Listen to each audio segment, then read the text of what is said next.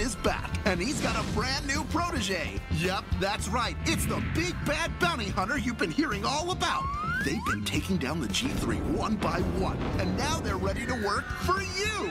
They'll kill your mean boss, your ex-husband, anybody, doesn't matter. Just come on down to Gene Zaroothian's Bounty Hunting Emporium. It's the weird house in the middle of Blim City Plaza, right near Flordo's. If a weird yells at you, just walk right past her. She's not important. Gene Zaroothian's Bounty Hunting Emporium, located at the big house in the middle of Blim City Plaza.